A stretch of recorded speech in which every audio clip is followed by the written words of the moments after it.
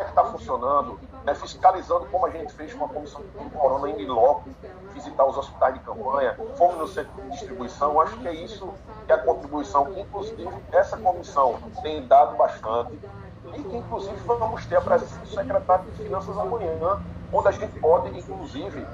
se aprofundar ainda mais das informações que estão